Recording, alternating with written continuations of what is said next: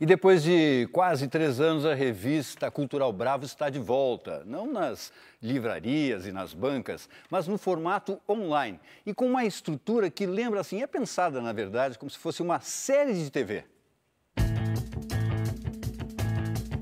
A Bravo, antigamente, uma grande vocação dela era trabalhar com agenda cultural. Hoje, agenda, você tem centenas muito boas né, na rede é, e que a gente não precisa mais fazer isso, já tem gente fazendo. Vamos fazer uma coisa meio usando aquela essência de produzir matérias e conteúdo sem economizar em texto, independente de que seja para a web, vai ter um público que vai querer ler sobre isso.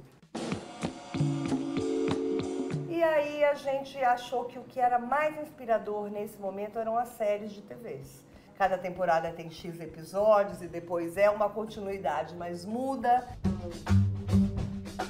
Na hora que você clica em bravo.vc, você chega aqui na nossa home, você começa a ter a explicação de todos os episódios que vão compor aqui a, a primeira temporada, que chama Incertitude, e a data em que eles vão para o ar.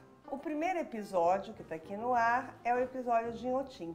Aí você vai navegando, quer dizer, ou você olha aqui no menu, você vê se um desses títulos te é, seduz, aí você clica aqui e ele já vai passando até e para no lugar que você quer. Aí a gente pensou, só que se a gente apostar só nesse nicho, nesse público é, apaixonado por arte, cultura, consumidor, como é que a gente vai falar com jovens? Até porque uma periodicidade, se aparecer a cada 15 dias na internet, você está morto. Então a gente começou a pensar no nosso trabalho de curadoria. Todos os dias a gente posta umas oito matérias no nosso Facebook e temos a nossa produção também que não é ainda diária, mas que é de três a quatro vezes por semana. A gente faz entrevistas, que a gente chama de ping-pongs, a gente faz o ateliê do artista.